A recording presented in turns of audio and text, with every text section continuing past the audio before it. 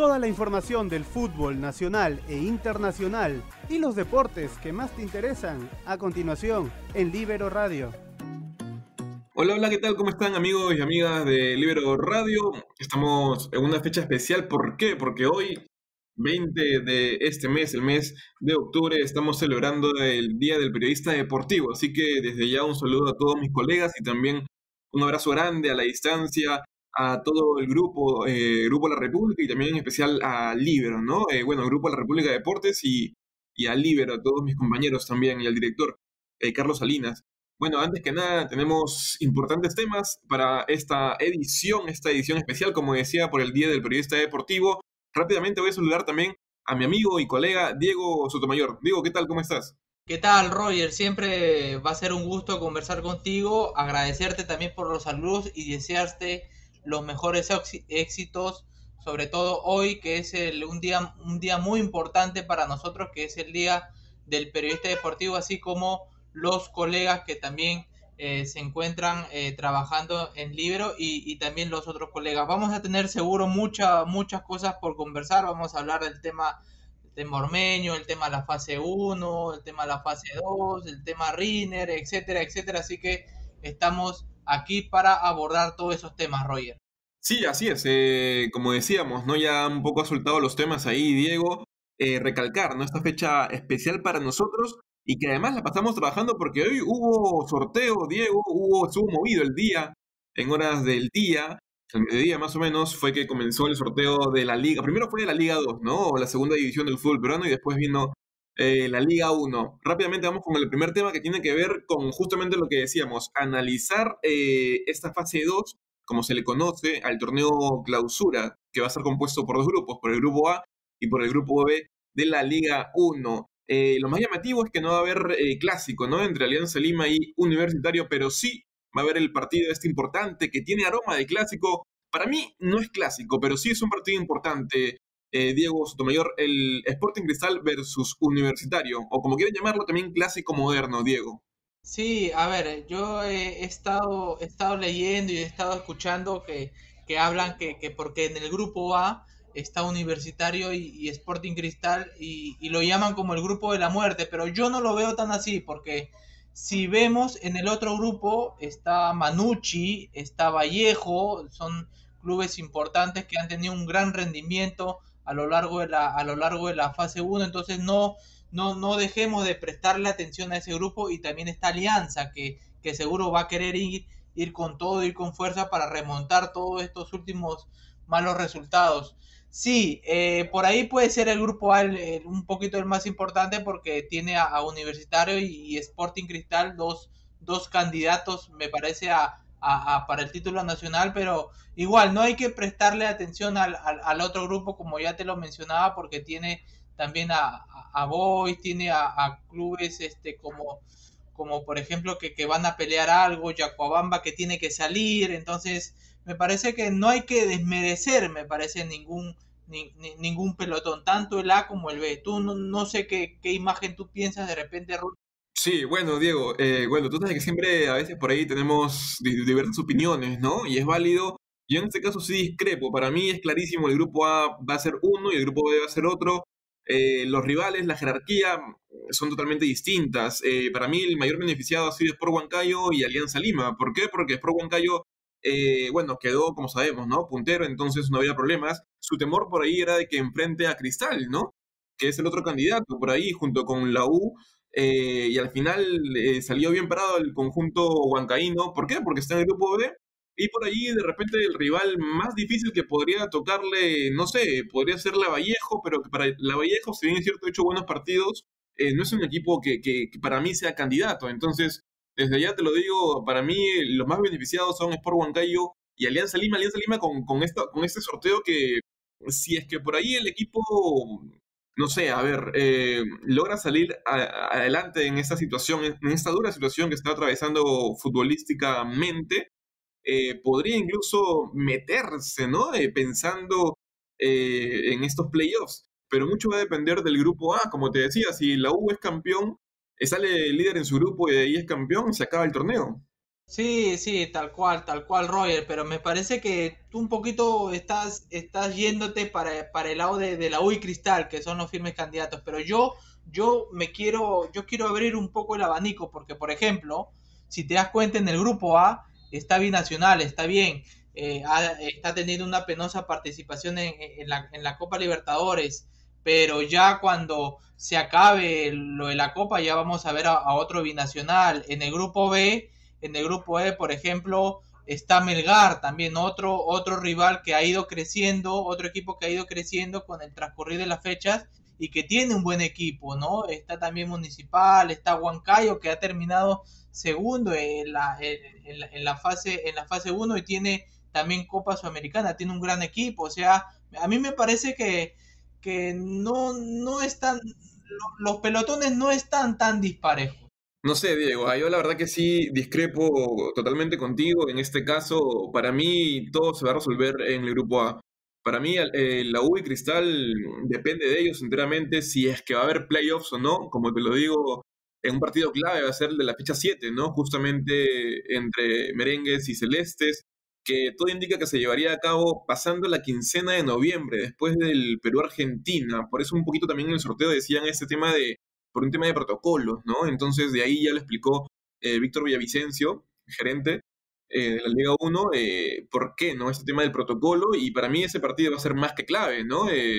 Incluso ya podría por ahí despejar ciertas dudas porque Universitario podría ser ya puntero, Cristal de repente otra vez que le pase lo que le sucedió en el Apertura, entonces para mí ese partido puede ser el que define muchas cosas. En el otro grupo, eh, es cierto, ¿no? Como tú dices, son equipos eh, que tienen buenos jugadores, pero que lamentablemente no tienen continuidad, no tienen, o sea, es, son muy irregulares.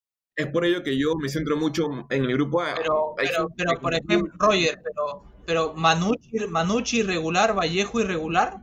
Pero no es candidato Manucci Vallejo. Con todo el respeto a los equipos este, norteños, no son candidatos. Pero no, no, no, me parece que no, no puedes desmerecer porque eh, son, son equipos complicados y que ya han demostrado que en Lima han hecho, le han hecho buenos partidos a, a, los, a los rivales, ojo, no, no hay que, no hay que es cierto, desmerecer. son muy complicados, pero candidatos es otra palabra muy diferente a, a complicados.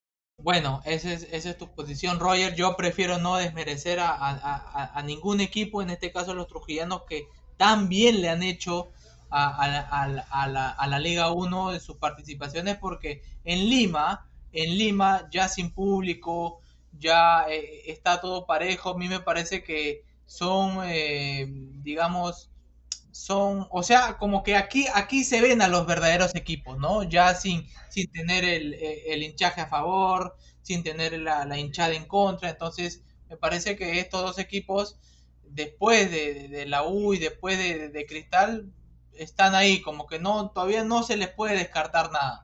No, claro, sería un pecado descartarlos. Y si es que llegan los playoffs o por ahí a la final eh, y me caen en la boca o me cierran la boca, eh, yo feliz, la verdad, porque siempre es bueno tener equipos del norte que tienen muy buena acogida. Además son equipos, bueno, el Manucho es un equipo histórico, ¿no? Vallejo que, que ha crecido muchísimo en los últimos años. Este, y si se les da, bienvenido sea, pero la realidad hoy por hoy es de que los candidatos son U, Cristal y Huancayo. Incluso Alianza Lima no es candidato, a pesar de que el sorteo eh, podría caerle muy bien al equipo que, bueno, que aún es dirigido por Salas, por ahí dicen los rumores que ya comienzan a, ver eh, otros, otras opciones, pero por ahí el sorteo ha salido bien parado para Alianza Lima. Ahora también hablabas de Alianza Lima y me parece que ya estas nueve fechas, ya Mario Salas y el, y, el equipo completo ya deben de tomar conciencia que solo, solo le quedan estas nueve fechas. O sea, eh, si no, si no se apresuran, lo- los que están abajo se le pueden, se le pueden ir acercando. Entonces, eh, es un poco delicado también el tema, el tema de Alianza Lima. Que, que sin duda Mario Salas aún no le encuentra la, la- la- esa, ese estilo de juego que, que, que quiere implantar en el, eh, en el equipo en el equipo blanqueazul. Vamos a ver también cómo, cómo afronta este, esta, esta fase 2. Ahora, teniendo en particular Roger, que no, no va a haber para eh, de- del torneo, o sea, se, se van a jugar los partidos eh, ya.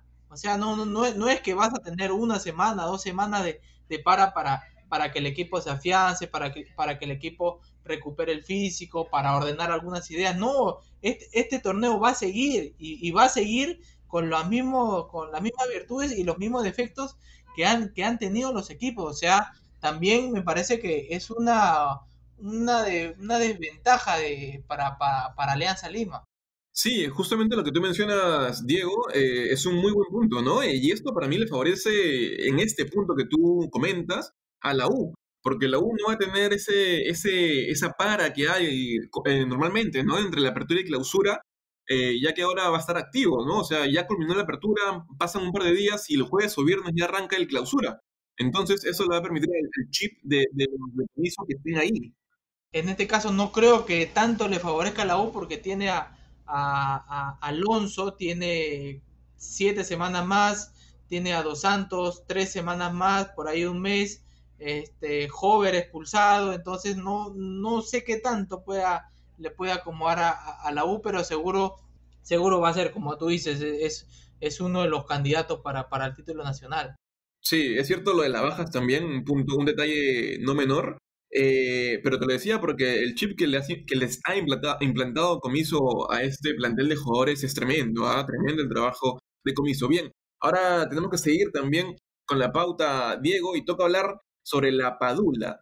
Descartado, Santiago Ormeño es la opción en ataque. ¿Tú qué piensas al respecto, Diego? Primero te doy el pase a ti y después yo agrego mi comentario.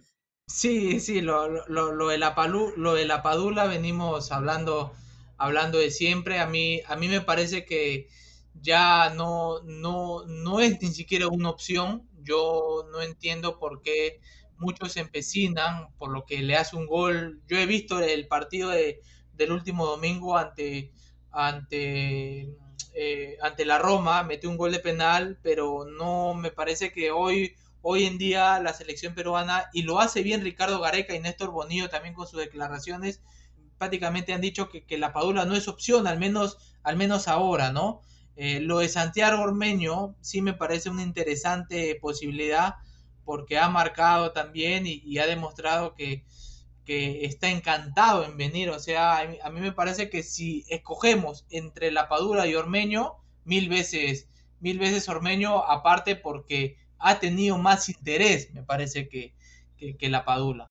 Bueno, hay que también mencionar, eh, Diego, que Santiago Ormeño y la Padula, los dos han metido gol el fin de semana, ¿no? Tú justo comentabas el gol de penal de la Padula, bueno, que lo falla, pero el rebote le queda y lo convierte, ¿no? Y Ormeño también convirtió con el Puebla en la derrota de su equipo, que es dirigido por Reynoso. Pero, a ver, eh, Diego, mira, la Padula, no te voy a negar que para mí es un jugador eh, que hoy en día, al igual que tú, pienso lo mismo, ¿ah? no no se le puede considerar ni nada por el estilo porque no, no puede ser convocado. O sea, la palabra es que no puede ser convocado porque no ha hecho el trámite. O sea, no, no tiene los, los requisitos para ser convocado. A diferencia de Santiago Ormeño, que sí tiene DNI, este, y Areca lo puede llamar tranquilamente para los partidos de la tercera y cuarta fecha. Pero la Padula no puede llamarlo porque no tiene los requisitos. Entonces, eh, el mensaje para mí es claro, ¿ah? ojo, eh, depende enteramente de la Padula hacer el trámite esas indirectas del tatuaje y todo lo demás, ya lo dijo Blitas, con un tatuaje no vas a ser convocado, tienes que hacer los trámites, tienes que mostrar el DNI. Eh, con el tema de Santiago Ormeño, tú también lo has dicho, es mucho más fácil, él es, está, es apto para ser convocado. Entonces, eh, ya dijo, la primera sección que me llame, yo voy a ir. México-Perú, yo voy a ir. Entonces ya está, ahora sí, como se dice, el balón en cancha de, de Ricardo Gareca. Sí, sí, tal cual, tal cual. Está en la cancha de, Gareca y como lo dijo Blitas, un tatuaje no, no, no te hace, no te hace ser convocado. Pero si hablamos de la Padula, la Padula ha tenido tiempo, Roger, para, para mostrar un interés, para, para tramitar su DNI, o sea que ya a estas alturas quiera, quiera dar señales de, ser convocado cuando, cuando la, la selección no, no tiene ahorita un, un 9 referente, bueno, salvo salvo Farfán que, que, siempre complica, por ahí Ruidías, pero no ha perdido a Paolo Guerrero y lo va a perder por, por, el 2021, más, más, que todo por la primera parte, pero me parece que si la Padula quería ser convocado, quería ser llamado, él de por sí hubiera tenido la intención al menos de, de, tramitar, su, de, tramitar su, DNI, todos los requisitos que le piden. Lo de Ormeño es otra cosa, pero me parece una, una buena interesante, una interesante opción la de la de Santiago Ormeño, está marcando en México, está teniendo un buen, un buen, eh, un buen rendimiento y, y, ¿por qué no? Hay que abrirle la posibilidad también a, al delantero que perteneció ¿no? a, Real Garcilaso. Sí, que incluso marcó un gol en el fútbol peruano ormeño. Eh, Néstor Bonillo también se pronunció sobre el tema, ¿no? Fue entrevistado y, y dijo que al menos con la Puebla no ha habido ningún acercamiento, ¿no? Así que está descartado. Y es válido, o sea, hoy por hoy lo que te decía Diego está descartado, no puede ser convocado, no, no, no es elegible en estos momentos por, por Perú. Una vez que tenga el DNI y todo eso ya es otro tema. Eh, bueno, yo entiendo tu postura de que no, no tú no simpatizas con, con, las decisiones que ha hecho la Padula. Creo que a nadie le gustó que, que desechara la oferta de, de la selección peruana, ¿no? Incluso de, que Gareca se tome la molestia de viajar a Italia hace 3, 4 años para, para, contar con él, ¿no? Creo que a todos no, no, le cayó bien esa noticia, ¿no? De la Padula que después aceptó jugar por Italia, pero no se puede negar que, al menos comentario propio, personal, eh, si es que tramita sus documentos y todo lo demás, sí me gustaría verlo. Eh, por último, Diego, también tenemos que tocar el tema de Jean-Pierre Riner, ¿no? Eh, debe ser el sucesor de Carlos Zambrano. ¿Qué opinión tienes tú al respecto, Diego Sotomayor?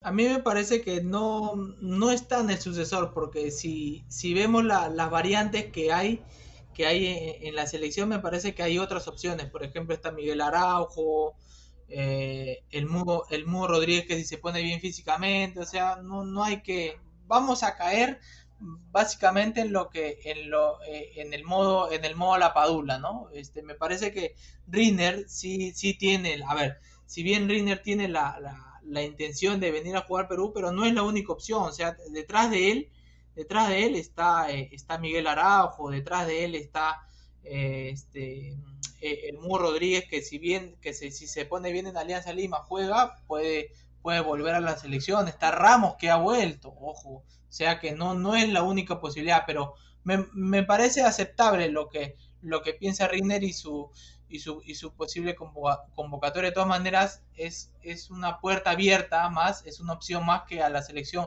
Y a Gareca le va a ayudar. Eh, coincido contigo en el tema de, de bueno, también respetar eh, el tema de los procesos, ¿no? Eh, Jean-Pierre Riner nunca ha sido tomado en cuenta también porque tenía este tema de, de, jugar con Suiza y todo lo demás. Eh, pero hoy en día ya hizo su trámite, mm, eh, él sí fue claro que quería ser llamado y todo, eh, ¿no? Mandó la carta a la FIFA y todos los detalles.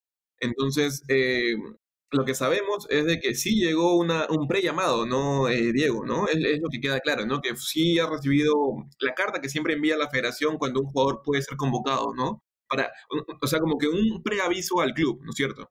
Sí, sí, tal cual, es, es un preaviso y, y, debe ser, y, es cierto, ¿no? Es cierto. Eh, eh, vamos a ver si en noviembre eh, ya, ya, se, ya se conoce la, convocatoria de Rine, pero obviamente eh, es, una, es una buena posibilidad y si el jugador tiene la intención de venir a Perú, bien, bienvenido sea, es una buena posibilidad, pero insisto, yo, yo prefiero apostar por los que ya están, Araujo, Ramos, Kai, por ejemplo, que, que, no, que, no vino en la, última fecha de eliminatoria, o sea, también hay que, que revisar bien el, abanico y no estemos imponiéndole muchos nombres al, técnico al técnico Gareca.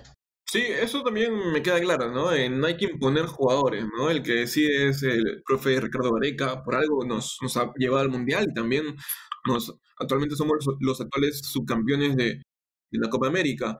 Eh, yo creo que sería muy, muy importante que haya amistosos, ¿no? Para ver a Jean-Pierre pero lamentablemente por la situación no, no, se ha podido dar y es por ello que eh, también Ricardo Gareca como que no, no creo que tome el riesgo de, alinearlo, ¿no? Y ponerlo contra Chile allá en Santiago o contra Argentina. Ahora, lo que sí me, me, me genera mucha intriga, Diego, preocupación en todo caso sería eh, poner Araujo con, con Abraham, porque ha quedado demostrado que al menos cuando dos centrales jóvenes, sin tanta experiencia en selección, eh, han jugado juntos, no lo han hecho de la mejor forma. Siempre es bueno poner a un experimentado junto, junto con uno, uno joven, ¿no? Eh, en este caso lo venía haciendo bien Zambrano con, con Abraham.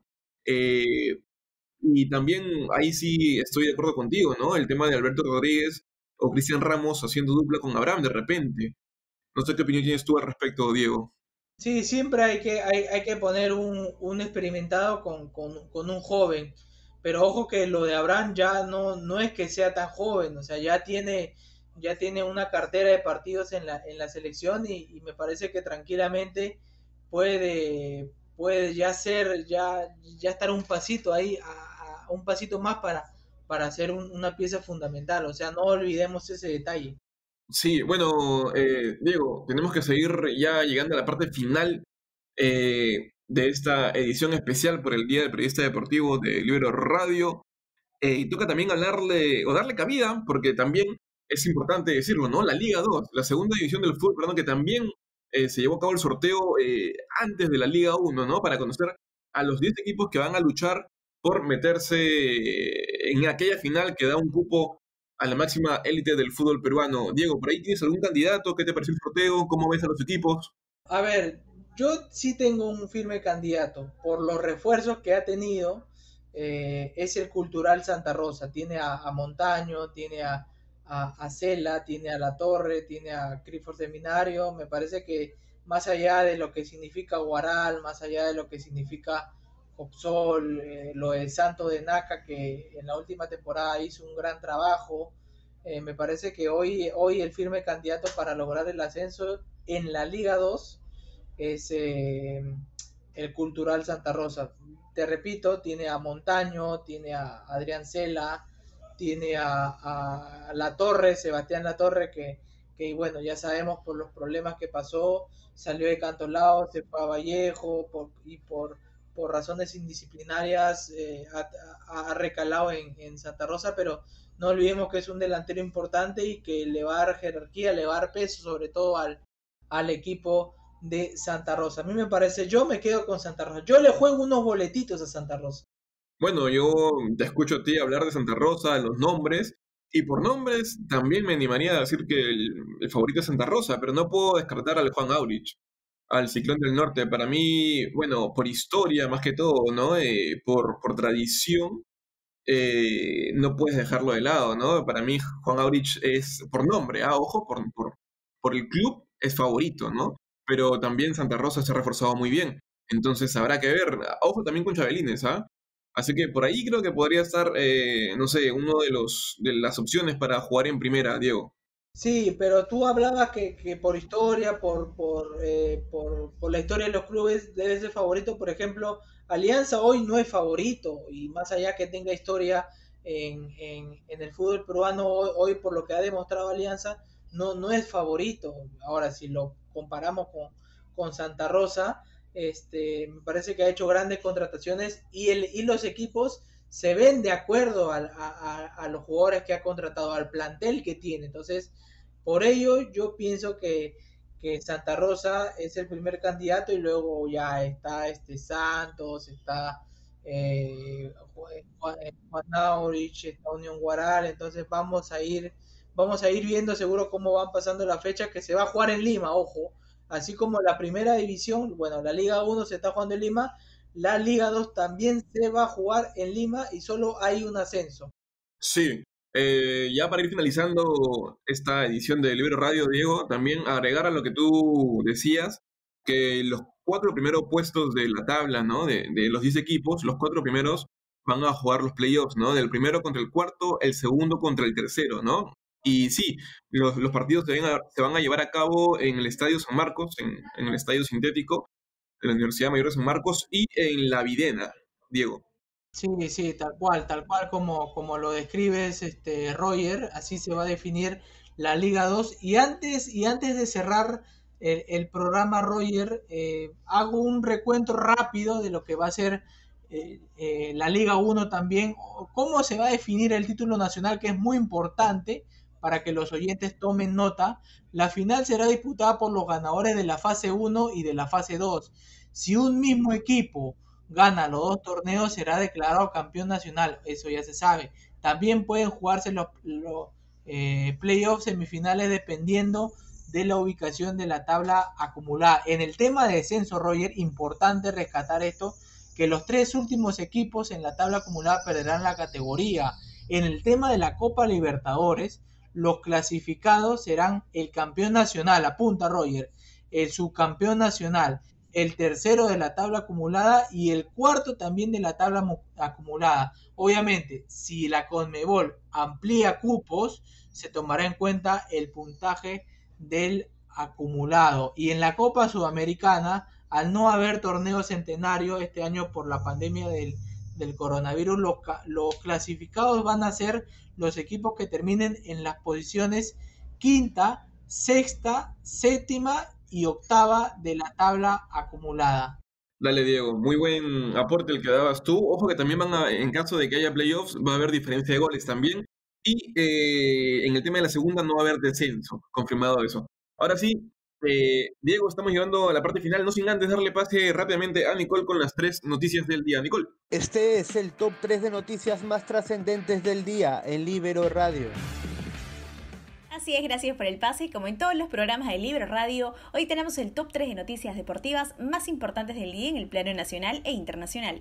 Y vamos a iniciar con la Liga 1 Movistar, pues su gerente general Víctor Villavicencio confirmó que para la fase 2 del torneo local se mantendrá la orden de no jugarse fechas los días domingo, ello por las restricciones que hay desde el gobierno en el marco de la lucha contra el coronavirus. Por otro lado, pero siguiendo la línea del torneo local, Alejandro Jover es la primera baja de Universitario de Deportes para el primer encuentro de los cremas en la fase 2 de la Liga 1 ante Atlético Grau. Como se recuerda, el futbolista fue expulsado en el encuentro del cuadro merengue ante Cusco FC y se perderá el arranque de su equipo en la fase 2. Finalmente, llegando al ámbito internacional, el presidente de Barcelona, José María Bartomeu, se encuentra aislado como medida de precaución debido a haber tenido contacto cercano con una persona que posteriormente dio positivo al nuevo coronavirus. Esas han sido las noticias más importantes del día. Voy con ustedes, chicos. Muy bien, ahí estaba entonces Nicole Calderón con las tres noticias del día. Diego, ha sido un gusto tenerte aquí, nuevamente comentando, tú desde tu casa, yo desde la mía, cumpliendo siempre con el distanciamiento y con todas las medidas eh, que se han creado ¿no? por la pandemia del coronavirus. Nuevamente saludar a todos los periodistas deportivos del Perú y del mundo. Con nosotros será hasta la próxima. Chau, chau, nos vemos. Esto fue Libero Radio. Escucha todos los episodios en nuestra web www.libero.pe slash podcast y también estamos en Spotify, Evox, Google Podcast y Apple Podcast.